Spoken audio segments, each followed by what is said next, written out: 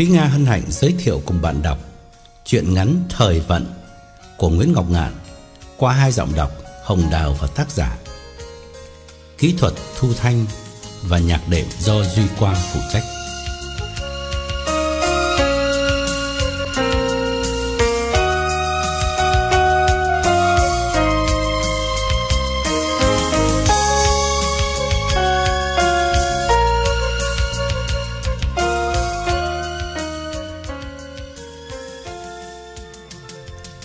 Lúc Hằng đến nơi, những khuôn mặt quen thuộc đã tề tựu đông đủ.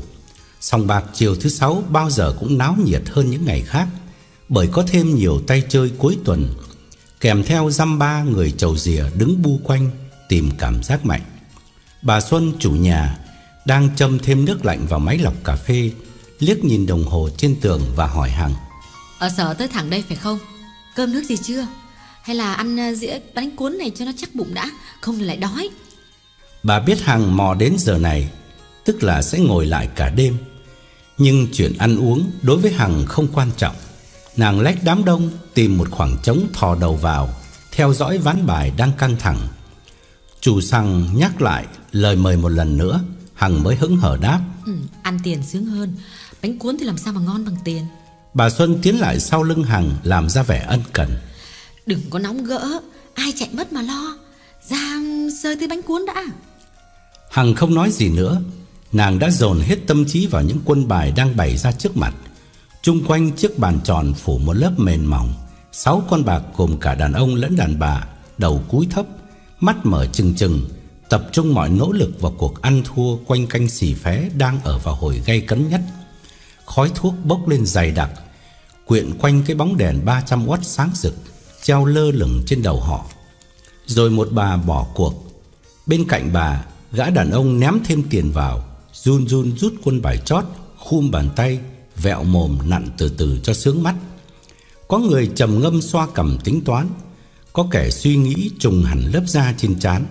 Không khí cực kỳ nghiêm trọng, Khiến kẻ trong người ngoài Đều tự dưng im lặng. Nghiêm trọng ở chỗ, Tổng số tiền quăng vào nọc Đã đắp thành một đống khá cao, Trong đó có nhiều tờ giấy trăm. Khá lâu Đám người trầu dìa mới sốt ruột ghé tai nhau thì thầm bàn tán.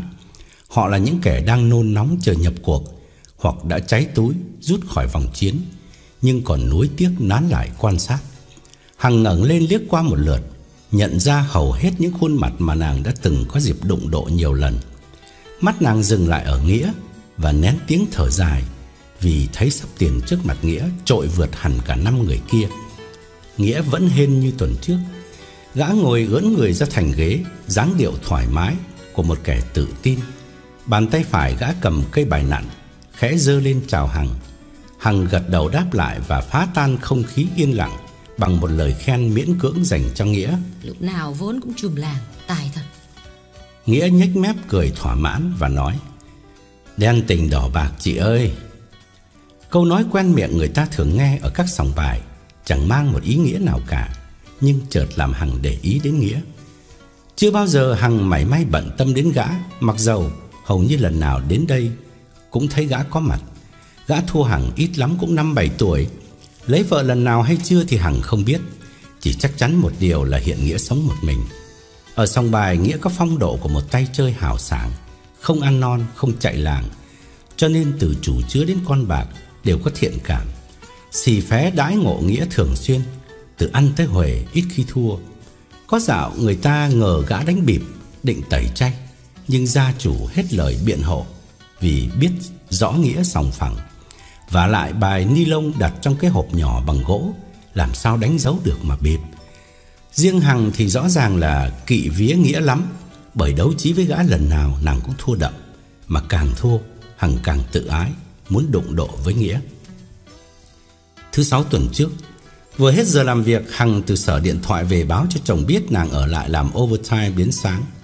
Kỳ chồng Hằng vốn thật thà, ít khi nghi ngờ thiện trí của vợ, lại chưa hề biết vợ mình say mê cờ bạc, nên nghe vợ bảo phải làm ca đêm, anh rất mùi lòng tội nghiệp. Nhưng anh không cản vợ bất cứ điều gì. Hằng cũng biết tính chồng dễ bị gạt, nên cứ lâu lâu lại bày trò làm overtime, rồi lái xe lại thẳng đây, chỉ kịp gặm khúc bánh mì trước khi nhập trận. Tuần rồi Hằng không may, Mới 2 giờ sáng vốn liếng đã cạn sạch. Nàng đứng dậy, chạy lại góc phòng. Ở đó trên chiếc sofa sờn nát, Luôn luôn có ông thần tài ngồi ngủ gà ngủ gật Để chờ thiên hạ gõ cửa xin tăng viện. Ông không đánh bạc, Không biết trong cỗ bài Tây quen thuộc kia quân nào lớn hơn quân nào. Nhưng ông hiện diện thường trực tại đây Để kịp thời mở lòng tử bi, Cứu vớt những tay chơi gặp vận đen cháy túi Giữa lúc cuộc chiến chưa tàn. Ít ai biết tên ông là gì Ngày mới qua, ông có mở tiệm sửa đồng hồ. Lấy tên là Dạ Quang, Và từ đó người ta cứ gọi ông là ông Dạ Quang cho tiện. Ông tự cho phép mình về hưu. Đã 10 năm. Ở tuổi trên dưới 40 Chuyển sang lãnh welfare một thời gian Rồi hành nghề cho vay kiếm lời. Có người trách ông vay tiền Tính giá cắt cổ. Nhưng đó là nghề của ông, Không thể làm khác được. Và lại người ta tìm đến ông, Chứ ông có ép buộc ai đâu. Chính ông cũng phải chấp nhận Rất nhiều bất trắc, Bởi cho vay kiểu của ông Vốn chỉ là một thứ khế ước bằng miệng, Một thứ tín dụng không đem nhau ra tòa được, Mà chỉ dựa trên lòng tin Giữa người quen biết nhau. Ông cũng đã mất nhiều, Đã dầm mưa dãi nắng lặn lội đòi tiền Nhiều khi rất dai dẳng Mà vẫn bị quỵt. Cho nên việc ông tính lãi suất cao Cũng chỉ là bù qua đắp lại mà thôi. Huống chi không có ông thì dân cờ bạc khổ sở lắm bởi chẳng lẽ giữa đêm khuya Còn đang nóng máu mà lại phải ôm hận bỏ về? Ông đưa cho Hằng ba ngàn làm láng mới. Hằng kỳ kèo mượn thêm nhưng ông từ chối thẳng Vì món nợ cũ nàng chưa thanh toán. Gặp lúc vận đen, Ba ngàn chẳng thấm vào đâu. Không đụng độ được ván bài nào cho ra hồn. Chỉ đem trải đường cho thiên hạ rỉa dần. Và khi trời chưa sáng rõ, Hằng đã hết sạch. Kinh nghiệm thường bảo rằng khi thua bạc, đầu óc người ta trở nên cực kỳ sáng suốt, nghĩ hết mọi cách để xoay sở gỡ gạc. Hằng khẩn khoản mượn thêm ông dạ quang, ông lạnh lùng lắc đầu. Đang cơn cay cú, Hằng chạy sang phòng bên cạnh đánh thức bà chủ nhà dậy nằn nì giật nóng độ một hai ngàn, nhưng cũng không có kết quả. Hằng buồn rầu trở lại sòng bài, bưng tách cà phê, kéo ghế ngồi cạnh Nghĩa, nhìn thiên hạ sát phạt cho đỡ ghiền. Nàng nghĩ đến mấy cái thẻ tín dụng đã kín mít không thể rút tiền được nữa. Hàng chục món nợ lặt vặt trong sở và người thân, đầu óc Hằng choáng váng, mắt mờ hẳn đi, vừa vì thiếu ngủ, vừa vì lo lắng. Trung quanh Hằng, những bàn tay vẫn thoăn thoắt rút bài, từng nắm tiền vẫn tiếp tục ném ra và lâu lâu vài giọng cười đắc thắng vang lên như những mũi tên đâm vào tim nàng. Hằng nhìn dáng điệu khoan thai của Nghĩa đang nghiêng người đốt điếu thuốc, nheo mắt tránh khói và đăm chiêu suy tính trước khi quyết định lật con bài tẩy của đối phương. Nàng thèm thuồng nhìn đống bạc trước mặt Nghĩa, tiếc rằng mình không đủ thân để hỏi mượn. Mà dù có thân chuyện vay mượn ngay tại sòng bài giữa những người đang lâm chiến là điều nên tránh né vì người ta sợ xui. Dân chơi lắm kẻ tự đặt ra những quy luật kiêng cữ rất lạ. Nghĩ vậy, nàng đưa ly cà phê của mình cho Nghĩa và động viên tinh thần. Uống một hớp cho tỉnh, Ván bài lớn phải tính cho kỹ nhé. Nghĩa gật đầu cảm ơn, Tươi cười đỡ lấy ly cà phê, Nhấp một ngụm nhỏ rồi thở mạnh Và quăng sắp tiền dày cộm ra giữa sòng. Bàn tay gã run run rút con tẩy của đối thủ, Hồi hộp đưa lên coi. Nhưng chưa kịp xem kỹ Thì kẻ tháo cái đã náo nuột, Kêu lên nho nhỏ. Thôi, ăn đi. Đụng nhà giàu không nổi. Nghĩa rủi điếu thuốc. Chậm rãi cua đống tiền về nhã nhặn phân bua. Tại đang hên nên bắt liều đấy thôi. Mười phần thấy thua đến chín. Đám đông chung quanh đều lắc đầu suýt xoa Và tỏ vẻ đồng ý với Nghĩa. Một người cay đắng nhận xét Bắt văn bài ấy thì ấu thật Đúng là nhà giàu Không biết tiếc tiền. Hằng góp ý đưa đẩy. Cao chứ không phải liều đâu. Anh Nghĩa tính bài kỹ lắm. Cứ tưởng à, là anh ấy bắt đại mà lầm to. Nghĩa vừa nhìn sấp tiền, Vừa quay sang nhìn Hằng. Hên đấy chị ạ, Nhờ ly cà phê của chị tôi mới lên tinh thần. Nói thật, gặp chị thì chắc chắn là tôi bỏ, Không dám bắt. Nhưng ông Châu nổi tiếng là hay tháo cái Nên tôi mới lật tay. Tiếng ồn ào làm bà chủ nhà thức giấc đi tiểu.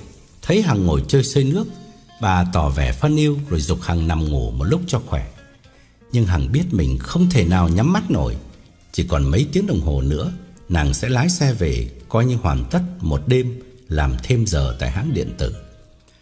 Một lát sau Nghĩa bỏ bài Đứng dậy lại bàn cà phê Ăn miếng bánh mì ngọt rồi vào phòng tắm rửa mặt.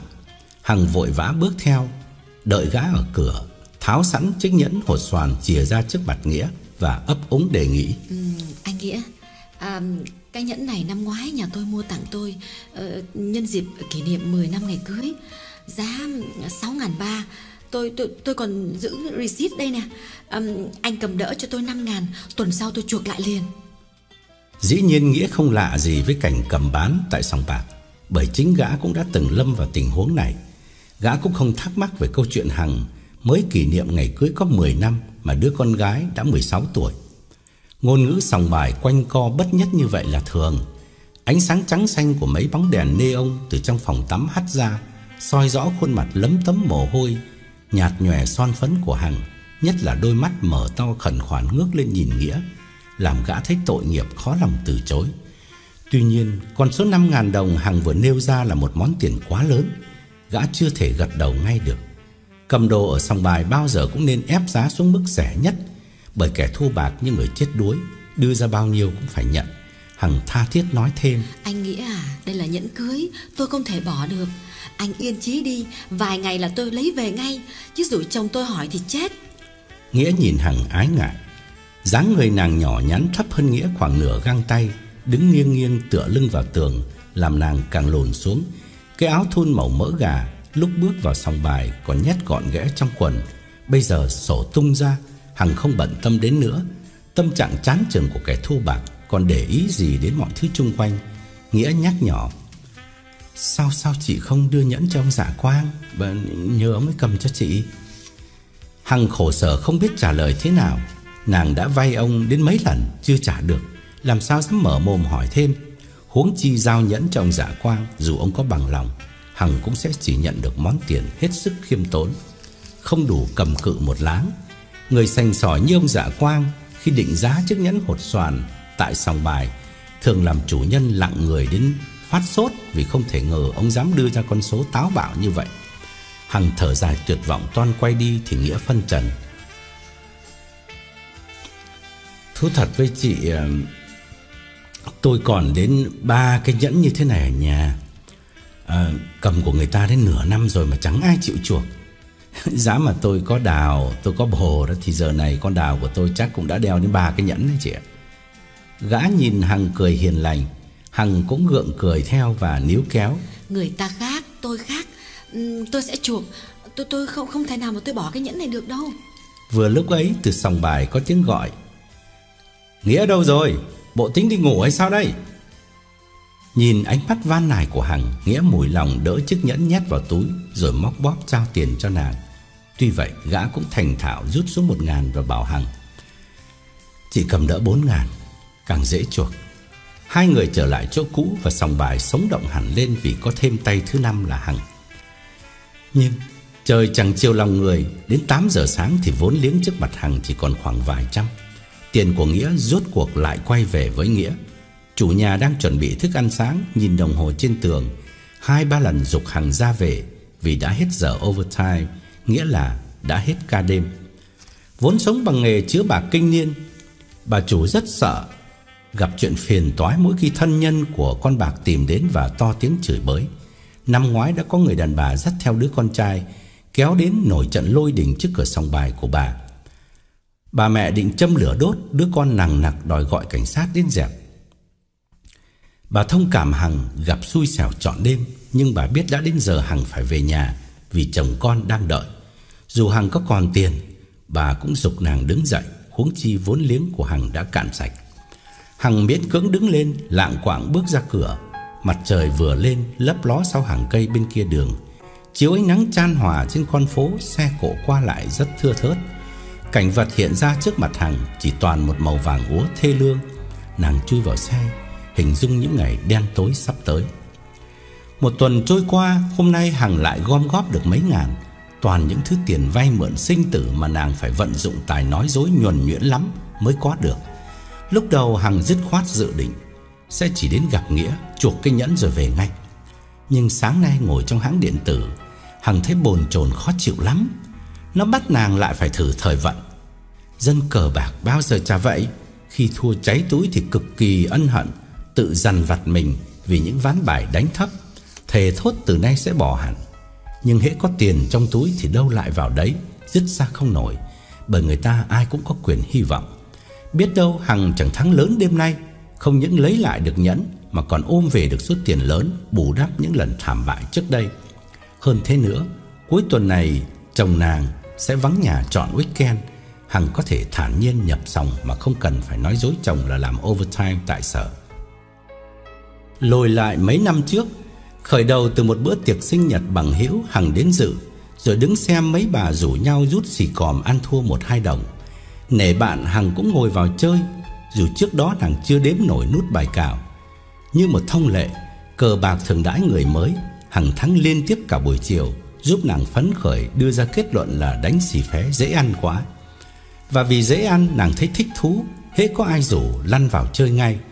Chỉ một thời gian sau, những canh xì còm bỏ láng hai chục Để tiêu khiển không còn hấp dẫn Hằng được nữa. Như những người nghiện ma túy liều lượng chỉ có thể tăng lên chứ không bao giờ đứng một chỗ hay suy giảm. Hằng càng ngày càng đánh lớn và đến lúc ấy nàng mới bắt đầu thua đậm, mới thấm thía những thăng trầm của trò chơi đen đỏ. Càng thua càng muốn gỡ, lương bổng hai vợ chồng đều thuộc loại cố định. Hoang đầu này thì hụt đầu kia, lỡ một canh bài gặp vận xui, bay mất năm ba ngàn không biết trông vào đâu để bù đắp. Chẳng bao lâu Hằng trở thành con nợ chuyên nghiệp, vay mượn bất cứ chỗ nào có thể bám được từ một người vợ bình thường chăm lo đời sống gia đình, Hằng dần già lơ là bổn phận, quanh co cả với chồng con, thậm chí nghe tiếng phone reo, nàng giật mình không dám nhắc lên vì chủ nợ nhiều lần gọi đến, nặng lời trách móc. Cũng may chồng Hằng càng ngày càng say mê những chuyện học hỏi xa vời giống như nhiều người đắm mình trong cái thú xem phim tập Hồng Kông. Hằng mừng lắm, nàng chẳng biết Kỳ học cái gì? Nhưng nàng thấy việc Kỳ đi học là một điều có lợi cho nàng. Một trong những cái lợi ấy là tính nét Kỳ dễ chịu hẳn đi Và ít có thì giờ để ý đến vợ con. Ngày ngày đi làm về, Anh ăn bữa tối rất đơn giản rồi ngồi đọc sách. Đúng 8 giờ rưỡi, Anh vào phòng riêng đóng cửa, Ngồi lại cho đến khi ngủ. Hai ngày cuối tuần kể như anh dành chọn Cho việc học hỏi của mình. Hoặc tại thành phố, Hoặc đi những trại xa. Trước mặt vợ con dần dà anh biến thành một người xa lạ, Sống thong dong bên cạnh gia đình, Với một thời khóa biểu sinh hoạt không liên quan gì đến mẹ con Hằng. Nhưng Hằng lại muốn như vậy Bởi nàng cần thỏa mãn cái sở thích lớn lao của mình là cờ bạc. Chiều nay Hằng ở sở về thì Kỳ đã đi khỏi. Hằng hồi hộp lắm, Không kịp tắm rửa thay quần áo, Chạy vội lên lầu mở tủ lấy sấp tiền nhét vào bóp Rồi mắt trước mắt sau chạy xuống xe. Đứa con gái ngạc nhiên hỏi Tối nay mẹ lại làm overtime. Hằng ngượng ngập đáp. Không uh, Nhưng mà mẹ đi party bên à, bên bên Bắc Thành. Con cứ ăn cơm đi Chừng 10 giờ mẹ về. Này nhớ khóa cửa lại nhé. Hằng cầm sâu chìa khóa bước nhanh ra cửa. Con bé ái ngại trông theo và hỏi. Um, Party mà mẹ mặc cái gì kỳ vậy? Hằng cười ấp úng Ừ thì toàn là người thân cả mà mặc sao chả được. Bác ấy tổ chức hát karaoke chứ không phải party gì đâu. À, Mẹ mẹ cũng hát vài bản cho nó vui vậy đó mà. Hằng chui vào xe nổ máy lao vụt đi. Hằng nghĩ đến Nghĩa Đến cái nhẫn Nghĩa đang cầm Và tự dặn mình lát nữa phải cẩn thận hơn khi lâm chiến với Nghĩa. Chủ nhà tiến lại sau lưng Hằng Đưa mắt nhìn khắp lượt những khuôn mặt chung quanh Và dè dặt đề nghị. Này uh, dư chân quá sao không làm một bàn nữa Điệp khúc ấy bà nhắc lại lần này là lần thứ ba, Nhưng đám trầu rìa dường như chẳng ai nhúc nhích hưởng ứng. Dĩ nhiên họ biết bà muốn gây thêm một sòng nữa để lấy sâu Nhưng họ lờ đi vì đống tiền cao nghệu trước mặt Nghĩa đang lôi cuốn họ. Họ kiên nhẫn đứng đợi, Chờ kẻ nào bị loại khỏi vòng chiến thì nhảy vào thế chỗ, Hy vọng câu con cá lớn nhất, Chứ bắt tép diêu làm gì. Mãi đến hơn 9 giờ, Hằng mới nhập cuộc. Hai người vừa cạn láng nhìn quanh, Thấy không cầu cứu được ai nữa Đành uể oải xô ghế đứng dậy ra về. Chủ nhà tiến chân ra tận cửa, Nói vài lời phân yêu Và nhắc họ sáng mai trở lại. Dĩ nhiên, bà không cần nhắc, Nếu họ xoay được tiền Thì có thể chỉ lát nữa, Họ sẽ có mặt. Hằng ngồi đối diện Nghĩa, Móc ra hai ngàn rồi thỏ tay rút quân bài tẩy. Một người bảo Hằng, Bà bỏ lang ít quá, Chỉ nội là đi tiền đường thì cũng hết rồi. Nghĩa nó lấy thịt đè người, Chỉ ho một tiếng là đủ chạy. Hằng ngước lên nhìn Nghĩa Bắt gặp nụ cười và dáng điệu khinh bạc thường lệ của Nghĩa. Nàng lưỡng lự một chút Rồi lôi hết tiền trong bóp ném lên mặt bàn Và tỏ thái độ bất cần Đau lâu thì tốn thuốc Thả một phút huy hoàng rồi chợt tắt Nghĩa gật đầu nhìn Hằng Mỉm cười nói good luck Trong lúc đôi tay thoăn thoắt xào bài Rồi đẩy lại trước mặt Hằng Và nói Mời chị. Hằng ngắt cỗ bài làm hai xếp chồng lên nhau Rồi đặt gọn trong cái hộp gỗ Lao vào trò chơi đen đỏ này Đã đến mấy năm Mà mỗi lần nhập trận, Hằng vẫn cảm thấy hồi hộp khác thường. Cái cảm giác ngây ngất khó tả lắm, Có lẽ còn kích thích hơn cả những buổi hẹn hò vụng trộm với tình nhân nữa. Liên tiếp mấy tiếng đồng hồ, Hằng cua về khá nhiều tiền, Có lẽ đã đủ để chuộc nhẫn Và thanh toán vài món nợ lặt vặt. Nhưng dân chơi không ai nghỉ ngang như vậy. Gặp vận đỏ phải biết tận dụng khai thác. Hằng nhìn đồng hồ thấy đã gần nửa đêm Vội vào bếp phôn về cho con gái.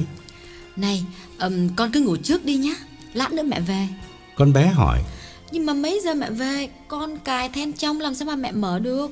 Hằng lưỡng lự không biết trả lời thế nào Thì con bé gãi đúng chỗ ngứa. Hay là mẹ ngủ bên Bắc Thành đi Sáng mai hãy về. Gần 12 giờ rồi con buồn ngủ lắm Không chờ mẹ được nữa đâu. Hằng thở phào nhẹ nhõm Nhưng làm ra vẻ miễn cưỡng. Ừ hay uh, con ngủ đi Ờ, nhưng mà ở nhà một mình con có sợ không? Nhớ cài then cửa trước, cửa sau vào nhé. Cẩn thận, Mẹ ngủ bên này cũng được. Tại có việc cần phải bàn với lại bác Thành Hằng cúp phone trở lại đám bạc Một lúc sau, đám người chầu dìa đã tản mát ra về hết. Thêm hai tay đang sát phạt cũng cháy túi đứng dậy. Cuộc hỗn chiến chỉ còn diễn ra giữa bốn người, Trong đó có Nghĩa và Hằng. Hằng liên tiếp đụng đổ những ván lớn Và vận đỏ của nàng đi xuống rất nhanh. Mới hơn 2 giờ sáng Trận thư hùng đã tàn lụi Vì có đến hai người hết tiền. Nghĩa và ông Tâm, Một người đàn ông lớn tuổi chủ garage Chia nhau gom sòng, Kẻ ăn, người thua, uể oải đứng dậy. Quang cảnh này rất ít khi xảy ra Giữa đêm cuối tuần như thế này. Hằng tuyệt vọng đưa mắt nhìn ông dạ quang nằm ngủ trên chiếc sofa ở góc phòng. Đánh thức ông dậy cũng vô ích, Bởi nàng đã thiếu ông quá nhiều, Không đời nào ông cho vay thêm. Bà chủ nhà thì dĩ nhiên lúc nào cũng cứng rắn áp dụng chính sách cấm vận đồng đều đối với mọi thân chủ. Thân đến đâu bà cũng thản nhiên lắc đầu. Tôi thì làm gì có tiền mà cho mượn, có thì chẳng phải lấy sâu. Bà thường phân trần như vậy với tất cả mọi người để không ai mở miệng làm phiền đến bà. Nghĩa đứng dậy dang rộng hai tay, vặn người mấy cái cho đỡ mỏi rồi khệnh khạng bước vào phòng tắm. Ông Tâm ngồi chậm rãi, đếm tiền trước mặt Hằng. Từ phòng bên cạnh bà Xuân dụi mắt bước ra ngơ ngác nhìn cuộc chiến vừa tàn. Bà hốt hoảng kêu lên. Ủa sao nghỉ sớm vậy? Hằng ngước nhìn bà não nuột thở dài. Hết tiền. Tôi với ông Trường cháy túi. Ông Nghĩa với ông Tâm ăn hết. Bà Xuân vội dốc ống tiền sâu Cuốn lại hết nhét vào túi. Hằng ghé tai hỏi giọng cầu may. Này hay là cho tôi mượn độ 2 ngàn Đánh cầm chừng để giữ chân Chứ không thì tan sòng mất Bà chủ nhăn mặt đáp Tôi làm gì có tiền? Hằng vừa ngượng vừa tức Đã biết trước là chủ nhà keo kiệt Mà nàng vẫn thấy cái bản mặt phèn phẹt của bà giờ này Đáng ghét hơn bất cứ người nào trên thế gian này. Nàng hầm hầm nhìn bà Nhưng bà không quan tâm đến những kẻ bại trận. Bà khẩn khoản bảo Nghĩa và ông Tâm. Hay làm chơi đỡ ba tay đi. Trời sắp sáng rồi Chỉ chỉ một tí nữa thôi là thiếu gì người đến. Này chú Nghĩa lại đây. Um, Tôi đây ở à, đúng rồi tôi cũng đang muốn đánh một canh đây Lời mời gọi xem chừng không được ai hưởng ứng. Theo lệ thường ở các sòng bài, Bất cứ khi nào thiếu chân, Chủ nhà sẽ nhảy ngay vào tham dự cầm chừng để chờ khách Vì không muốn gián đoạn cuộc chơi, Mất cơ hội lấy sâu Tuy nhiên, hầu hết các chủ sòng cũng đều xuất thân Là những người có máu cờ bạc. Cho nên, Dù chỉ ngồi vào để cầm chân, Họ cũng giao đấu tận tình ăn thua xả láng. Nhiều người gom góp tiền hồ cả tháng Chỉ một canh ngắn ngủi là nướng sạch nhưng riêng cái bà Xuân này thì khác hẳn, Rõ ràng là đánh phé theo kiểu câu giờ, Ngồi đưa đẩy cho thiên hạ thanh toán lẫn nhau mà thôi. Ngoại trừ khi rút được quân bài lớn nhất phải đi tiền, Thì bà mới miễn cưỡng quăng ra một hai đồng. Còn kỳ dư, cứ kéo quân tẩy lên chưa kịp nhìn, Bà đã quay ngang. Bà cầm bộ bài xào tới xào lui Tha thiết nhắc lại điệp khúc cũ. Này, ở lại chơi đi, Hôm nay là thứ bảy, thiếu gì khách sộp. Chỉ một lát nữa thôi, Sợ là đẩy ra không hết đấy chứ. Nghĩa vừa rửa mặt xong, Lùa tay vuốt ngược mái tóc lên, Rồi lau đại bàn tay ướt vào ống quần. Tính gã vốn cả nể nên chỉ cười, Không dám thẳng thắn từ chối. Thâm tâm không muốn chơi nữa, Nhưng nếu thiên hạ này nỉ, Gã lại sẽ ngồi xuống để khỏi mang tiếng là ăn non. Nhưng rất may cho Nghĩa là ông Tâm mạnh dạn lắc đầu bảo chủ nhà, Ba người mà đánh cái gì? Mất sướng. Nhưng mà tôi phải về bà Xuân đây, Ngủ độ mấy tiếng, sáng mai còn lái xe đi xa. Bà Xuân sẵn giọng. Đi đâu? Ông Tâm đáp Bà cụ tôi mới từ Việt Nam qua Ngày mai tôi phải đưa xuống Los thăm thằng em. Rồi ông phân trần thêm Tôi còn tới đây dài dài chứ có đi luôn đâu. Chắc ăn là chiều thứ hai tôi ghé. Ông đứng dậy Lấy áo khoác và ra cửa. Nghĩa nhìn bà Xuân nhún vai Gã bưng tách cà phê trở lại chỗ cũ Lấy gói thuốc và cái hộp quẹt nhét vào túi áo. Hằng ngồi khoanh tay Mắt mở trừng trừng nhìn những quân bài giải rác trên mặt bàn Bất giác thở dài nói bâng cua Chưa bao giờ xui như vậy. Tôi tính ra thì à, có lẽ thua đến 10 canh liên tiếp. Ít khi nào đi một lèo như thế. Chắc à, phải nghỉ mấy tháng xả xui. Bà Xuân còn đang bực vì cuộc khiêu chiến diễn ra quá bất ngờ Cho nên hững hờ bảo Hằng. Thì cờ bạc đỏ đen là thường. Bây giờ cô về hay là ngủ lại đây? Ngủ đây thì lên phòng tôi lấy chăn gối xuống mà ngủ Bà chỉ cái sofa, Kê hình thước thợ, Nối đầu vào chiếc ghế mà ông dạ quang đang nằm phanh bụng ngủ ngáy như sấm, Hằng thấy bất bình về thái độ của gia chủ. Mời nàng sang phòng riêng, Chưa chắc nàng đã thèm nhận lời. Huống hồ lại bảo nàng, Nằm đây bên cạnh ông dạ quang. Hằng chưa kịp trả lời thì Nghĩa thấy tội nghiệp, Vội lên tiếng bảo Hằng, Chị đi ăn mì với tôi không chị Hằng? Tiệm Hưng Ký mở cửa tới 4 giờ sáng đấy. Tôi mời chị đi ăn à, tô mì cho ấm bụng rồi về ngủ. Rủ ông Tâm đi luôn cho vui.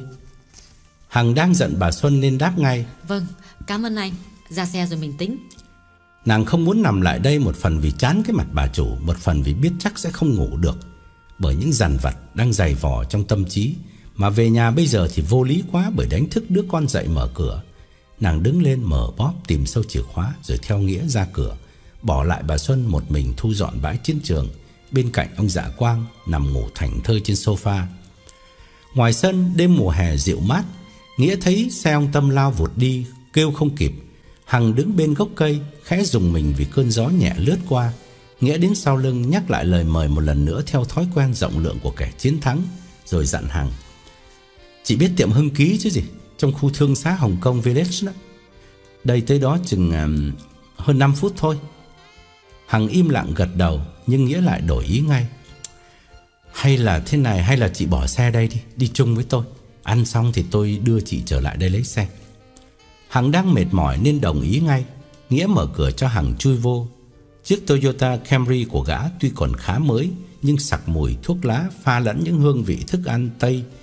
Miếng pizza ăn dở quăng ở băng sau đè lên mấy tờ báo biếu Bên cạnh một két bia còn nguyên. Nghĩa mở máy và vặn nhạc nho nhỏ. Hằng ngả đầu hẳn ra phía sau, Trong thư thế thoải mái, giả tạo, Để che giấu nỗi đau khổ khủng khiếp đang âm ỉ trong lòng. Chiều nay thứ sáu, lẽ ra Hằng phải ở nhà nấu một món đặc biệt Để mẹ con thưởng thức cuối tuần, Hoặc dẫn nhau rong chơi ngoài phố Bướn phim về coi, Hỏi han Kim những sinh hoạt thường nhật trong trường, Dặn dò con những điều cần thiết ở tuổi mới lớn. Đến cái tủ lạnh trống rỗng vì đã lâu không mua sắm, Chiều hôm qua trước khi đi đánh bạc Tình cờ mở ra. Hằng cũng không bận tâm Chỉ hứng hờ bảo Kim. Này, nhà chả còn gì. Hay là con ăn tạm mì gói đi rồi sáng mai mẹ đi chợ luôn thể nhé. Bao nhiêu trách nhiệm vây quanh Hằng không chu toàn được mảy may. Lòng nàng trùng xuống cực kỳ hối hận. Nhưng cái hối hận ấy chẳng có nghĩa lý gì Bởi nó vẫn thường đến với nàng mỗi khi cháy túi Mỗi lần thua là mỗi lần thể Rồi chỉ vài hôm sau con ngựa lại quay về lối mòn cũ Xe dừng lại trước tiệm ăn. Quán rất đông vì dân chơi từ các vũ trường vừa kéo ra. Hằng giật mình lo lắng Chỉ sợ gặp người quen bắt gặp nàng đi với Nghĩa Vào giờ khuya khuất này. Lúc nãy khi Nghĩa đề nghị Đầu óc nàng còn nặng chịu chuyện tiền bạc Chẳng nghĩ được điều gì. Giờ mới thấy là mình quá liều lĩnh. Nghĩa tắt máy xe mở cửa. Hằng vẫn ngồi yên không xuống Chờ Nghĩa dục hai ba lần. Hằng mới phân vân bảo Hay là thôi anh Nghĩa à? Ừ, Đông người quá. Nghĩa hiểu ý gật đầu chấn an. Đông nhưng mà toàn người Hoa thôi. Dân Việt mình ít ai biết tiệm này lắm. Hằng vẫn ngã ái ngại. Anh có đói thì vào ăn đi chứ còn tôi thì tôi ngồi chờ ngoài đây cũng được rồi. Nghĩa phì cười. Ai lại làm thế? Tôi cũng không đói lắm Chỉ muốn à, mời chị đi ăn cho vui thôi. Chị ngại thì thôi vậy. Tôi đưa chị về. Hay là thế này Mình mình check out Mình mua cái gì mang về ăn nghe không chị? Chị ăn mì vịt tiềm nhé Tôi mua cho chị mang về ăn. Hằng lắc đầu. Thôi phiền anh lắm. Thực ra thì chẳng phải là Hằng sợ làm phiền Nghĩa. Gã đớp của Hằng biết bao nhiêu tiền tại sòng bạc. Mua tô mì thì có gì đáng kể. Nhưng Hằng phân vân vì không biết mang thức ăn về đâu. Chẳng nhẽ đập cửa lôi cổ con gái dậy vào giờ này Để bắt nó nhìn nét mặt bơ phờ của nàng. Nàng ân hận đã không nhẫn nhịn Ngủ tạm tại nhà bà Xuân mấy tiếng chờ sáng. Chỉ vì nỗi buồn thua bạc Mà nàng theo nghĩa ra đây Một điều hết sức vô lý chưa xảy ra trong đời nàng bao giờ. Nó cũng vô lý như việc nàng bỏ con ở nhà một mình Để lao vào trò chơi sát phạt. Nghĩa đóng mạnh cửa xe mở máy Hằng tưởng gã giận nên đưa mắt nhìn sang bên kia đường và bảo Ờ hình như là cái tiệm donut đằng kia còn mở cửa kìa. Hay là mình qua bên đó ngồi tốt hơn? Nghĩa bằng lòng ngay Dù thực tâm gã không thích chút nào. Ngồi xong bài từ sáng đến giờ Gã cần một tô mì nước Một bát cháo nóng Chứ bánh ngọt chỉ làm bụng thêm khó chịu. Huống chi cà phê thì gã đã nốc hơn 10 ly ở nhà bà Xuân, Uống thêm làm gì nữa. Hai người đẩy cửa bước vào, Quán nửa khuya vắng ngắt. Chỉ có cô gái ngồi quầy đang đọc sách Và người janitor đang lau sàn. Tiền bạc dư thừa. Nghĩa định gọi cả một đĩa bánh, Lấy cà phê cho mình Và nước cam cho Hằng.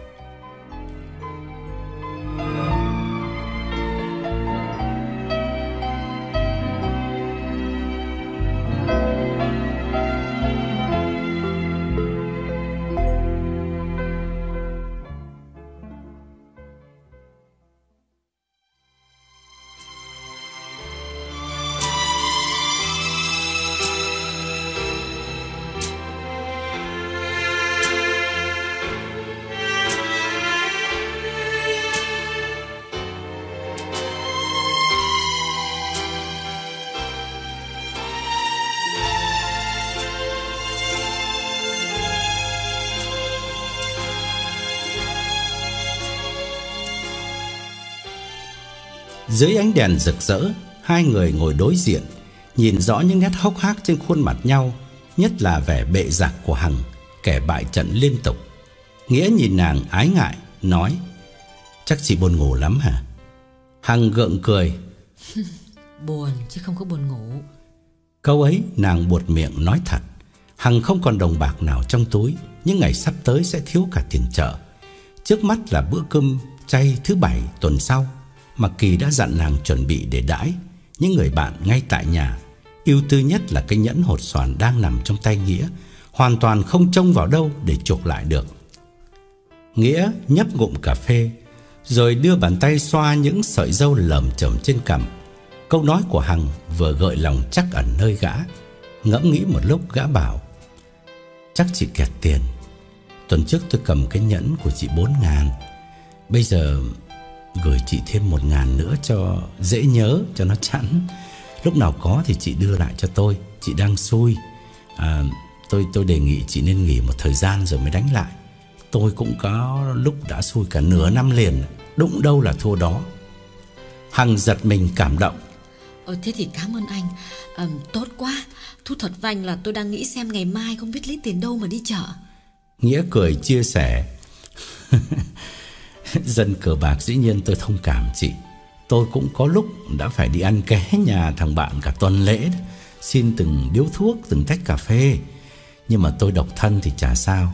Chị thì có gia đình thành thử ra Hằng thấy khuây khỏa phần nào Nói chuyện hăm hở hơn. Và thôi không hối hận đã nhận lời đi ăn với Nghĩa giữa đêm khuya nữa. Còn đang vui thì Nghĩa lại đột ngột đề nghị Bây giờ tôi đưa lại chị chiếc nhẫn để chị đeo, Chứ không rồi anh Kỳ hỏi đến thì phiền cho chị. Cứ coi như là chị mượn tôi 5 ngàn, Lúc nào có thì chị trả. Ừ, không gấp. Nhẫn tôi để nhà, Lát nữa thì chị đi ngang, tôi tôi sẽ gửi lại chị. Hằng lặng người xúc động, Chớp mắt cảm ơn hai ba lần. Trong giang hồ, Chắc chẳng tìm đâu ra được một con người thứ hai như Nghĩa. Nàng nâng ly nước cam Uống một hớp lớn Rồi lảng sang chuyện khác Bằng một câu hỏi hoàn toàn lạc đề. Anh Nghĩa năm nay bao nhiêu rồi? Tôi 32 Hằng tính nhẩm rồi nói. Ồ, Tuổi tí à? Như vậy là anh thua tôi đến 4 tuổi đấy. Câu chuyện vu vơ làm Nghĩa chỉ cười Gã dục. À chị uống đi Chị uống đi rồi mình về. À, Tôi chở chị lại đằng bà Xuân lấy xe Rồi chị theo tôi về nhà Tôi trả lại cái nhẫn cho chị Hằng hài lòng gật đầu Nhưng lúc chui vào xe Hằng phân vân bảo Nghĩa. Hay là à, về nhà anh trước đi vậy Không cần phải lấy xe vội đâu. Nghĩa phì cười. Tôi không có đổi ý đâu chị Chị đừng lo. Tôi đã hứa trả lại nhẫn cho chị Thì tôi sẽ không nuốt lời. Chị lấy xe trước Rồi chạy theo tôi về nhà thì tiện hơn. Chứ nếu tôi đưa chị tới nhà tôi trước Rồi tôi lại phải chở chị Chở ngược lại nhà bà Xuân để lấy xe Thì mất công cho tôi quá Hằng đập tay vào vai Nghĩa phân trần. Ấy chết Anh hiểu lầm rồi. Không phải là tôi sợ anh đổi ý đâu. Tôi biết mà tính anh anh nói là anh làm. Nhưng mà thú thật với anh bây giờ nó 4 giờ sáng rồi. Tôi về thì sớm quá Rồi đánh thức con bé dậy tội nghiệp nó. Thường thường á Thì là ngày thứ bảy có khi 10 giờ nó mới dậy. Nhà bà Xuân thì chắc ai cũng ngủ hết rồi. Sớm lắm thì 9-10 giờ họ mới thức. À, tôi, tôi tôi lấy xe đi đâu bây giờ? Nghĩa à một tiếng lớn, vui vẻ nói. Vậy mà chị không nói ngay. Thế thì về nhà tôi. Vâng tôi ở một mình, chẳng quấy rầy ai. Lại nhà tôi, rồi Tôi để chị ngồi nghe nhạc chờ sáng. Nghĩa nổ máy xe và vặn nhạc nho nhỏ theo thói quen. Những con phố vắng tanh, Lâu lắm mới thấy một chiếc xe vận tải chạy ngược chiều. Hằng đã vơi hẳn nỗi sầu, Thăm hỏi Nghĩa những câu xã giao không cần thiết về cuộc sống của gã. Mà từ trước đến nay chưa bao giờ nàng thèm bận tâm chú ý. Gặp nhau rất nhiều lần nhưng chỉ biết nhau rất sơ sài trên bàn xì phé. Giá không ngồi chung chuyến xe như đêm nay, Chắc hẳn mãi mãi Nghĩa vẫn chỉ là cái bóng mờ nhạt trước mắt Hằng Và Hằng đã mất một cơ hội để nhìn rõ cách cư xử hào sảng của Nghĩa. Về đến nhà, Nghĩa mời Hằng ngồi ở phòng khách Rồi mở tủ đem chiếc nhẫn ra trao cho nàng Cùng với một ngàn đồng. Hằng run run đỡ lấy Hai ba lần cảm ơn Và chợt thấy yêu đời hẳn lên Như không hề thua bạc và mất ngủ. Nàng bỏ nhẫn, bỏ tiền vào bóp, Rồi tỉnh táo đưa mắt nhìn quanh, Nhận ra cái tivi màn ảnh khổng lồ Kê sát bức tường đối diện, Cách chỗ hàng ngồi chưa đến ba thước.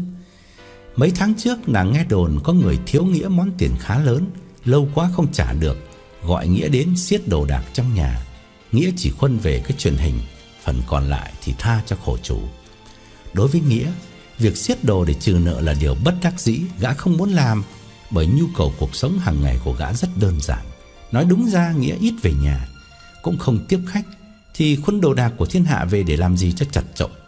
Một lần Nghĩa đến nhà ông dạ quang Buồn cười vì căn nhà của ông vốn nhỏ Mà bàn ghế, tranh sơn mài, tivi, tủ lạnh, máy hát Ông chất từ trong ra ngoài Choán cả lối đi. Toàn là đồ tịch thu gán nợ. Ở Việt Nam, đôi quốc cũ cũng còn bán được. Qua bên này, hàng hóa mới, tinh lôi ra khỏi tiệm đã mất giá.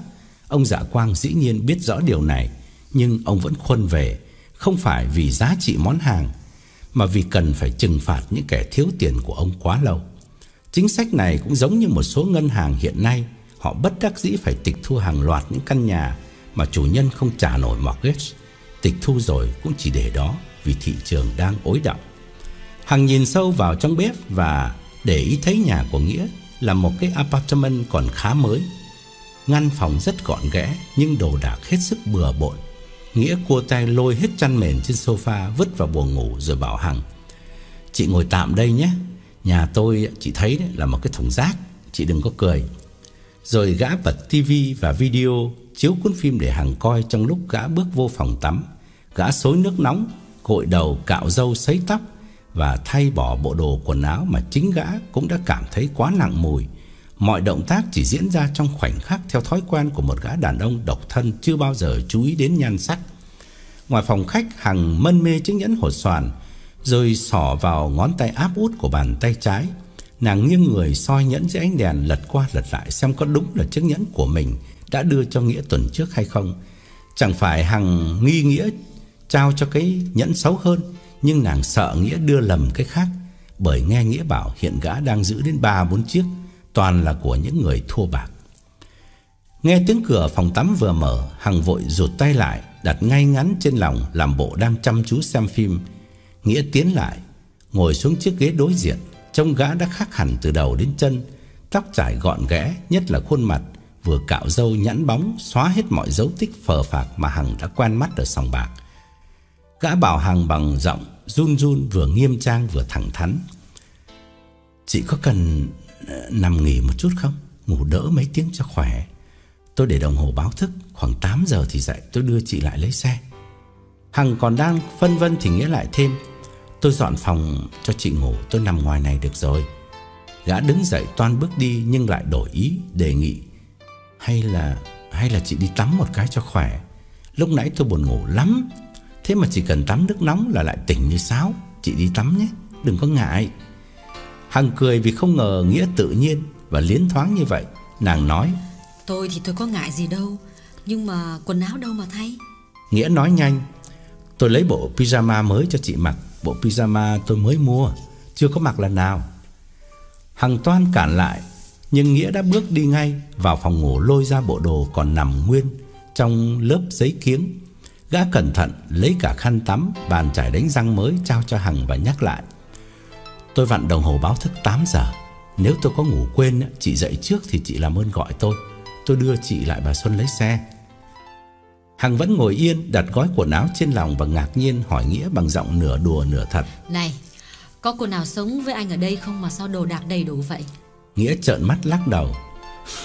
Tôi chỉ mê bà đầm thôi Chị có thấy không? Đánh phé tôi hay rút được ba đầm. Chị thua tôi một ván ba đầm, chị còn nhớ chứ. Hình như là chị hai đôi xì đôi bạt gì đấy. Tôi kéo lên cây đầm thứ năm, Ăn phản. Thôi, chị đi tắm đi. Tôi dọn phòng cho chị rồi tôi cũng đi ngủ. Hằng miễn cưỡng đứng dậy vào phòng tắm. Nàng nhìn mình trong gương Và giật mình thấy nước da vàng hẳn đi. Màu vàng nhợt nhạt, Không biết do sự xuống sắc của cơ thể Hay do chính đôi mắt thiếu ngủ của nàng Đã tự động biến mọi thứ trước mắt Thành héo úa. Nàng vặn nước thật nóng Rồi vào bồn nằm ngâm mình nhắm mắt lại.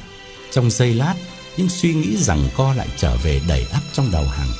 Lấy lại được chứng nhẫn cưới Và có thêm món tiền nhỏ tiêu vặt, Nàng tạm thời giải quyết xong mối bận tâm Mới lúc nãy còn dày vò nàng.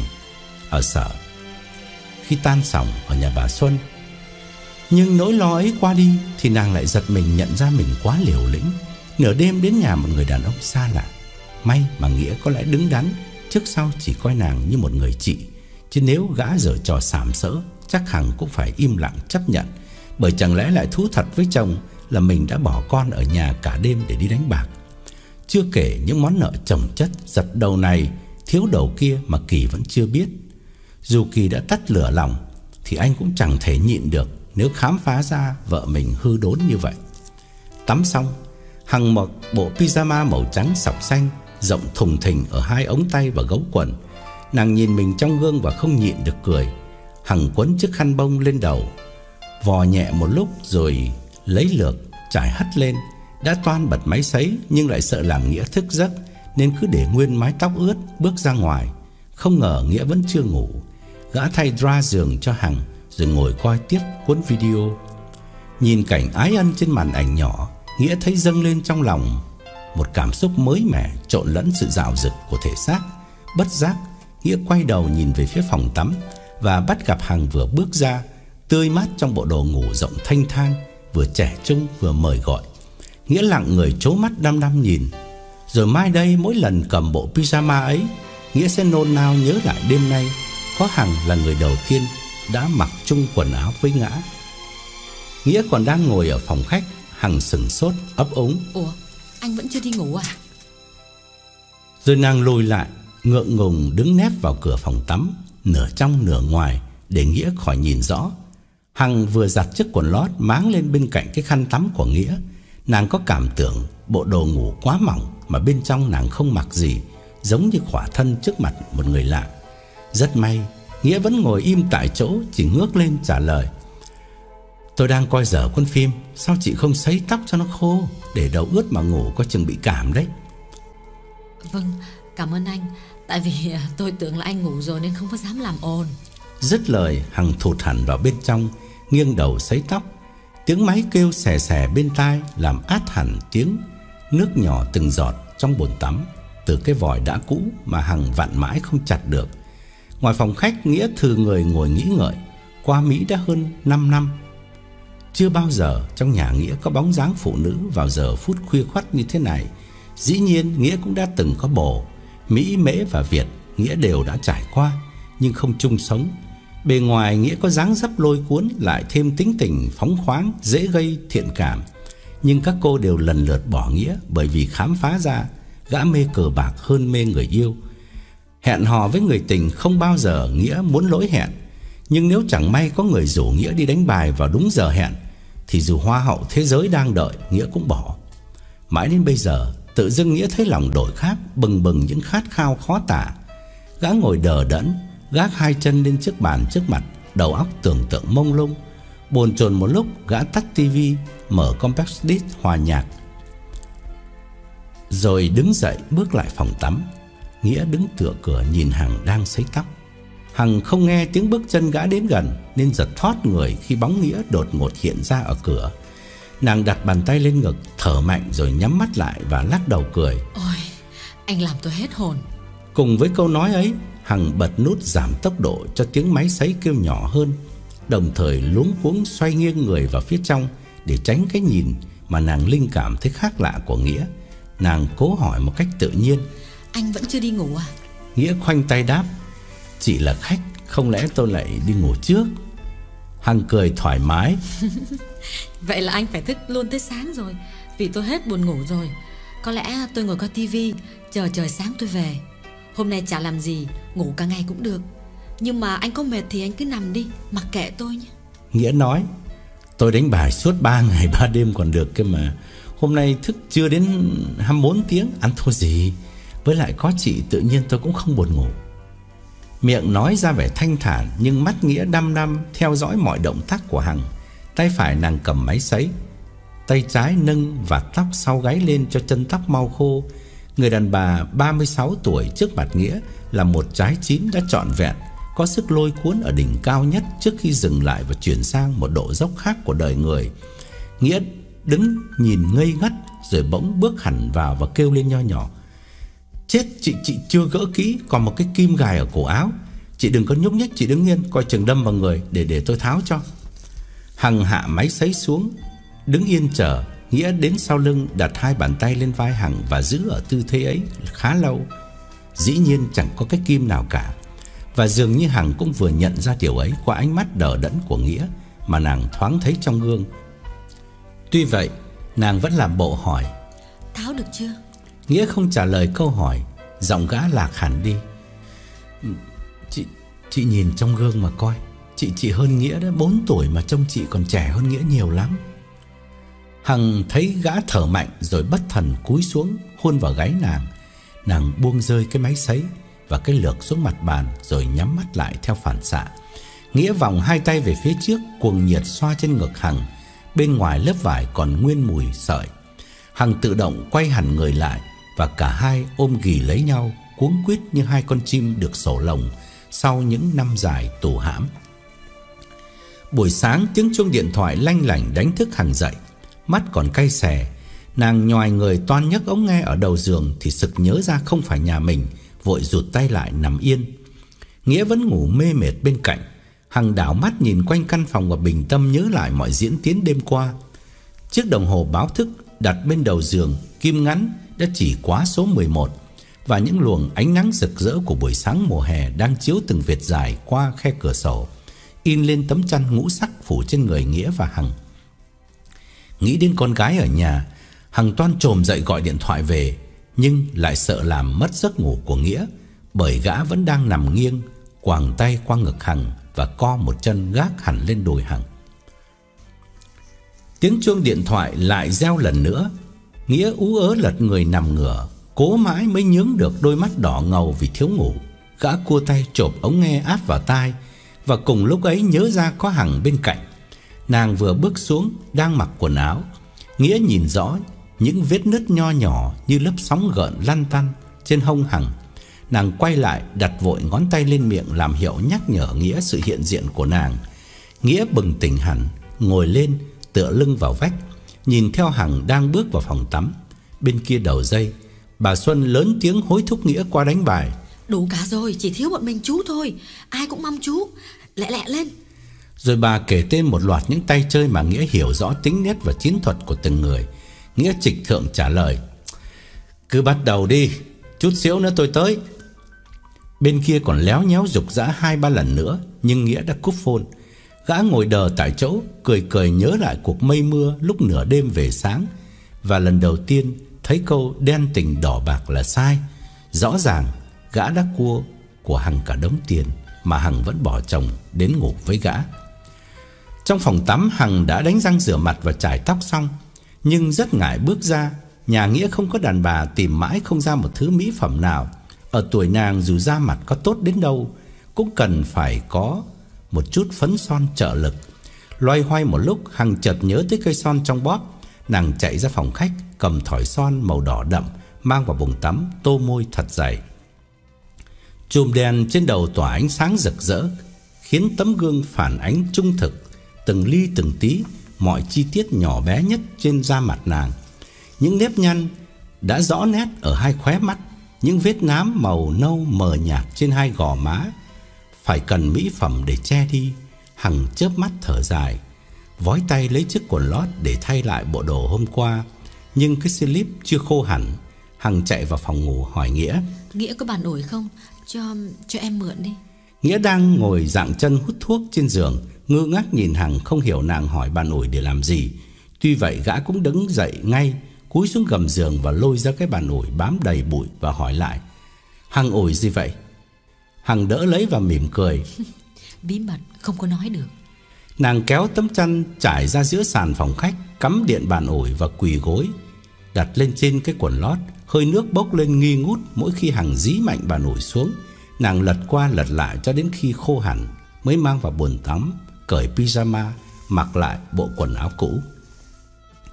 Trở lại phòng ngủ Thấy Nghĩa lay hoay đứng trước tủ Hằng bảo Nghĩa im lặng nhé Em phải phone về nhà xem con bé ra sao rồi. Nghĩa đồng ý ngay. Anh cũng đang lo Vì mình dậy trễ quá. Đáng lẽ 8 giờ Hằng phải về Rồi anh Kỳ phone vào sở thì làm sao? Hằng ngồi xuống mép giường Chuẩn bị quay số điện thoại và bảo Nghĩa. Anh Kỳ đi vắng rồi Không có nhà. Anh ấy ở nhà thì sức mấy giờ đây mà em còn ngồi với Nghĩa? Nghĩa gật đầu nhẹ nhõm Khoác chiếc sơ mi bỏ vào phòng tắm. Gã vẫn còn ngượng miệng khi gọi Hằng bằng em Cho nên gã thường chỉ nói trống không Từ chị đổi sang em Dù sao cũng là một khoảng cách Cần có chút thời gian cho quen miệng. Ở nhà con bé Kim vừa ăn pancake Vừa thưởng thức chương trình hoạt họa trên tivi Nghe tiếng phone reo Con nhỏ biết chắc là Hằng Nên nói ngay. Good morning mom. Hằng hỏi luôn một hơi dài những lời vấn an Mẫu tử thâm tình mà Kim đã đoán trước Đêm qua con ngủ được không? Ở nhà một mình có sợ không? Con ăn gì chưa? Chờ mẹ về đưa đi ăn sáng. Vân vân. Kim cắt ngang và bảo Mẹ cứ ở bên nhà Bắc Thành chơi đi. Con đi bây giờ đây. Mấy đứa bạn rủ con đi picnic. Chắc tới khuya mới về. Hằng thở phào mừng rỡ Vì đêm qua không có chuyện gì xảy ra Mà giọng Kim cũng rất vui Không hề có ý trách móc Hằng vắng nhà. Hằng cảm động hỏi ừ, Con có cần tiền thì chờ mẹ một lát nhé Mẹ mang về cho những lời ân cần của Hằng Kim nghe một cách rừng rưng như gió thoảng bên tai. Nó đã quá quen với những lời hứa hẹn không tiền bảo chứng của mẹ. Gần một ngàn bạc Vốn liếng riêng tư của Kim dành dụng Khi làm part time mùa hè, Bị Hằng mượn cả năm nay chưa trả. Xong bài cứ bòn rút dần tài sản vốn ít ỏi của Hằng Lấn sang cả chồng lẫn con.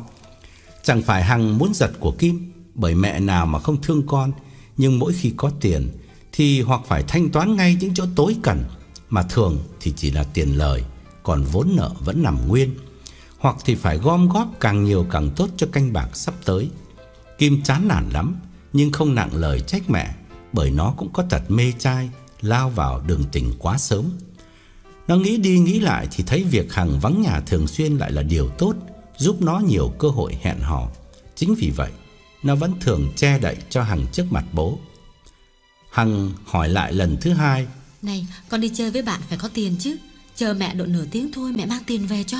Con bé gạt đi. Thôi mẹ khỏi về, con đi bây giờ mà, bạn con nó đang đợi. Hằng hài lòng nói. Ừ, thế thì con đi vui vẻ nhé. À quên mẹ dặn cái này Rồi mà bố có phone về Thì chớ có nói là mẹ ngủ bên nhà bác Thành đêm qua Nghe Kim Con bé tặc lưỡi Bố Ô... đi vắng rồi Có nhớ gì đến mẹ nữa đâu mà phone Hằng nói Ấy thì là mẹ phòng xa như vậy. Kim gác máy cười khẩy rồi đứng dậy bước vào phòng ngủ Vừa mừng vừa giận. Mới 8 giờ sáng thằng Kép còn ngủ vùi sau cuộc truy hoan mê mệt Thì Kim đã lôi cổ dậy Đuổi ra cửa sau Vì sợ mẹ về. Giả như Hằng phôn sớm hơn Thì giờ này hai đứa vẫn có thể nằm ôm nhau quằn quại cho đến tối. Kim biết tính mẹ đã lao vào sòng bài Thì khó mà dứt ra được. Họa chăng chỉ có khi nhà cháy Hoặc gặp lúc hết tiền Thì may ra Hằng mới đứng dậy. Lúc nãy, sở dĩ nó đuổi thằng bồ về Cũng chỉ vì nó đoán Hằng đã cháy túi, Bởi Hằng đánh bài ít khi ăn. Thôi, như thế cũng tốt. Nó sẽ gọi thằng kép trở lại Và ở trọn với nhau một ngày dài thoải mái. Buông điện thoại, Hằng lại lên giường nằm. Nàng thấy khó chịu vì bộ quần áo nàng mặc lê lết từ sáng hôm qua, Thoang thoảng bốc lên mùi bồ hôi. Và khói thuốc bám tại sòng bài. Nói chuyện xong với con, Nàng thấy lòng hết sức thanh thản, Chẳng cần phải về nhà nữa. Hay là lại thay pyjama nằm lại đây với Nghĩa đến chiều? Nàng biết chắc Nghĩa vẫn chưa đẫy giấc, Cần nhắm mắt thêm vài tiếng đồng hồ nữa. Đàn ông bao giờ cũng cần ngủ nhiều hơn đàn bà, Nhất là ở lứa tuổi của Nghĩa. Nàng tụt xuống giường đi vào bếp, Mở tủ lạnh và lục các ngăn kéo Xem có thứ gì có thể nấu được. Bữa ăn trưa cho Nghĩa hay chăng? Nhưng đến cả mì gói cũng không thấy. Hai cái bồn rửa chén thì ngập lên những nồi niêu ly tách, Cơm thừa canh cặn, Vung vãi tứ tung. Đã toàn vén tay áo thanh toán dùng Nghĩa, Hằng lại thôi, bỏ vào phòng nằm. Trong buồng tắm, Tiếng nước xối ào ào, Xen lẫn giọng hát khàn đặc của Nghĩa. Hằng mỉm cười vu vơ, giơ bàn tay lên, Nhìn lại chiếc nhẫn hột xoàn Mà đêm qua dưới ánh đèn Nàng còn sợ nhầm lẫn. Nàng thấy Nghĩa là một người rất lạ. Từ cái dáng bề ngoài có sức lôi cuốn Cho đến cách nói chuyện, Tính hào sảng, Điểm nào Nghĩa cũng đáng yêu cả. Thế mà Nghĩa vẫn sống trơ trọi một mình Cho đến hôm nay, Tình cờ gặp nàng. Hằng tò mò kéo cái ngăn tủ ở đầu giường Xem có khám phá được điều gì bí ẩn của Nghĩa chăng. Nhưng chỉ thấy một đống tiền lẻ, Toàn giấy một đồng và bạc cắt, Vứt bừa bãi, đè lên mấy cuốn Playboy và Penthouse.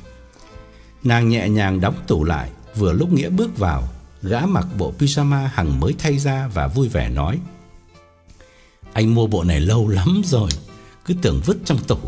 Giá mà không có Hằng đến đây Thì chưa biết bao giờ anh mới lôi ra mặc Rồi gã nằm xuống bên cạnh Hằng, Chỉ tấm poster khỏa thân rất lớn, Dán trên bức tường đối diện và bảo, Hồi mới gặp Hằng lần đầu tiên ở nhà bà Xuân, Anh thấy quen quen, Cố nghĩ mãi xem Hằng giống ai, Đến mấy tháng sau mới nhận ra là Hằng giống cái con nhỏ này. Hằng sung sướng đập vai Nghĩa. Hừm, Anh khéo nịnh Em mà đẹp được như vậy à? Lại có tiếng phôn reo Nghĩa biết chắc là chủ sòng bài réo gọi Nên không thèm nhắc lên. Gã dịu dàng bảo Hằng Chắc là thiếu chân Nên bà ấy mới thúc giữ như vậy. Bây giờ em về hay lại sòng bài? À mà đằng nào em cũng phải tới lấy xe.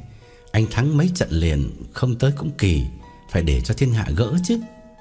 Hằng tỏ ý không bằng lòng Hôm qua Nghĩa còn là đối thủ của nàng, Hơn thế nữa chính nàng đã thua hết tiền về tay Nghĩa. Cho nên nàng cũng mong Nghĩa nhả bớt ra cho thiên hạ. Nhưng hôm nay, Nghĩa đã là người tình Mà nàng cần phải bảo vệ. Giọng nàng tha thiết. Đằng đó thì có bao giờ thiếu chân? Nhưng mà mấy người đó đâu có ai chịu mang nhiều láng, Ngoại trừ ông Tâm. Cỏ gỗ thì mổ cỏ thật, Anh Nghĩa à. Không phải là em suối Nghĩa ăn non, Nhưng mà Nghĩa đánh với họ, Ăn thì chả được bao nhiêu, Còn thua thì thua đậm. Hay là nghỉ bữa nay đi. Uhm, Em ở lại đây với Nghĩa được không? Nghĩa cũng biết Hằng nói hợp lý Lại nặng tình như tiếng nói của người vợ hiền. Nhưng đam mê cờ bạc trong lòng gã lớn quá Khó có thể lay chuyển được. Dù không đi thử máu Nghĩa cũng biết cơ thể của mình toàn là máu cờ bạc. Nằm nhà ngày thứ bảy mà ôm Hằng Tuy có thú vị thật Nhưng không thể sánh được với cảm giác kích thích của xì phé. Gã biết trước Dù có miễn cưỡng cuốn quýt bên người tình mới Thì đầu óc gã cũng vẫn sẽ bị Chập chờn ám ảnh bởi bộ bài 32 lá. Niềm vui xác thịt không thể thay thế được Cái thú đen đỏ. Gã phân trần, Anh Anh không muốn mang tiếng là cờ bạc gạo, Anh là dân chơi thứ thiệt mà. Hằng không cần về nhà Thì lại đó ngồi chơi với anh. Hằng ngượng ngập nói, Thua liên tiếp cả mấy tháng em đâu còn có tiền. Nhưng mà em nói thật nhé Nghĩa nên nghỉ bữa nay đi. Có ai dám nói Nghĩa cờ bạc gạo đâu. Lần nào Nghĩa cũng đánh đến phút chót Người ta hết sạch tiền Nghĩa mới đứng dậy. Nghỉ một hôm đi Tội gì cho người ta ăn lại của mình? Nghĩa dây dứt khó chịu trầm ngâm không nói Hằng lại bồi thêm bằng những ngôn từ Của người vợ hết sức hiền ngoan. Em đề nghị Nghĩa với em đi ăn sáng Rồi Nghĩa về ngủ. Đêm qua ngủ có mấy tiếng Lại ăn uống thất thường Nhớ ốm thì khổ. Phải dưỡng sức Nghĩa à Để không khí bớt nghiêm trang Hằng diễu một câu. Với lại em chắc chắn hôm nay mà có đánh Thì Nghĩa cũng sẽ thua thôi. Vì à, có còn đem tình nữa đâu mà đòi đỏ bạc. Câu khôi hài không làm Nghĩa nhếch mép Nghĩa miễn cưỡng chấp thuận vì cả nể Nhưng trong lòng đã chớm thấy phiền toái khi dính vào đàn bà. Ôm một đống tiền trong túi mà phải nằm nhà thì chán thật. Gã tự nhủ và chợt nảy ra một câu hỏi mới. Phải chăng? Vì Hằng thua nhiều quá Như con chim đậu cành mềm nên sợ gã cũng cháy túi như nàng. Tự dưng gã thấy tội nghiệp Hằng, Bởi chính gã đã ăn của Hằng nhiều nhất. Gã từ từ ngồi bên cạnh và ôn tồn nói, Hôm qua Hằng thua 4 ngàn phải không? Anh trả lại cho Hằng. Còn cái nhẫn thì Coi như anh tặng Hằng. Ông Kỳ mà biết Hằng đem cầm nhẫn cưới Thì chắc ông ấy ừ, bực lắm. Vừa nói, Nghĩa vừa đứng dậy, Lấy chiếc quần máng ở sau cánh cửa, Móc ra một sấp tiền đưa cho Hằng. Nàng hồi hộp đỡ lấy, Chớp mắt cảm động nhét hết vào bóp. Nàng không thể ngờ Nghĩa cư xử rộng rãi như vậy. Nàng quàng hai cánh tay qua cổ Nghĩa, Kéo đầu gã xuống, Úp mặt lên ngực mình. Nhưng Nghĩa chỉ ngồi ghé vào mép giường, Nhìn Hằng và nghiêm trang bình phẩm Bằng một giọng chuyên nghiệp. Lúc này vẫn đang sôi, Hằng chỉ nên đánh cầm chừng thôi. Hằng gật gù ra vẻ lắng nghe Tiếp thu kinh nghiệm của kẻ dày dặn chiến trường, Nhưng cùng với câu nói của Nghĩa, Đầu óc Hằng xoay chuyển thật nhanh sang hướng khác. Lúc nãy chính nàng khuyên Nghĩa nên nằm nhà Và nàng sẽ ở lại bên Nghĩa chọn ngày hôm nay. Lời khuyên ấy rất chân thành, Chỉ vì lúc khuyên Hằng chưa có tiền. Bây giờ thì tình hình đã đổi khác. Có được 5000 đồng trong túi, Hằng không muốn bỏ phí một ngày cuối tuần hào hứng. Lâu lâu, Chồng nàng mới vắng nhà cả một weekend. Không có tiền đánh bài, Nằm ôm tình nhân mới Dĩ nhiên rất thú vị. Nhưng có tiền đi đánh bài, Hằng vẫn thấy sướng hơn. Nàng hình dung trước, Dù có miễn cưỡng nán lại đây chọn ngày với Nghĩa, Thì nàng cũng sẽ bị chia trí thường xuyên Bởi hình ảnh của sòng bài thôi thúc. Chiếc nhẫn Nghĩa đã tặng lại, Giải quyết xong mối lo gan ruột. 5.000 đồng bonus Nghĩa cho thêm, Coi như của hạnh tài lượm được ngoài đường, Tội gì không đem thử thời vận. Có thua cũng chẳng tiếc. Bởi 5.000 đồng ấy kể như đã mất đứt từ hôm qua rồi. Hằng ngước nhìn Nghĩa dè dặt ướm thử. Nghĩa nói đúng đấy. Em nghĩ lại rồi. Nghĩa nằm nhà thì cũng không yên đâu. Đời nào bà Xuân để cho Nghĩa ngủ Bà ấy sẽ phone cho tới khi nào Nghĩa chịu qua mới thôi. Hay là Nghĩa lại đó chơi đi. Em em cùng đi với Nghĩa. Đủ người thì thôi Nếu thiếu tay thì em mới đánh. Nghĩa hớn hở đồng ý ngay Gã vội vàng thay quần áo và bảo Hằng Anh với Hằng kiếm cái gì ăn sáng đã Phở hay bánh cuốn cũng được. Đi xa một chút đừng để ai thấy. Mấy bữa nay bà Xuân cho ăn toàn thứ gì đâu à Khó nuốt quá. Hằng đứng bật dậy nôn nóng gạt đi. Cần gì phải ăn sáng? Ngồi đánh bài em nhịn cả ngày cũng chả thấy đói. Đến thẳng sông bài đi Lát nữa đông người lắm Mình lại phải chờ. Dĩ nhiên Nghĩa nhất trí ngay. Hai người hăm hở sánh vai bước ra đường. Hằng lãng mạn tiếc thầm là không lấy được một người chồng lý tưởng như Nghĩa Hoàn toàn ý hợp tâm đầu Để chia sẻ mối chân tình đời đời bền vững. Bởi đúng như câu danh ngôn Tây Phương đã nói, Yêu nhau không phải là nhìn nhau, Mà là cùng nhìn về một hướng, Đó là hướng sòng bài.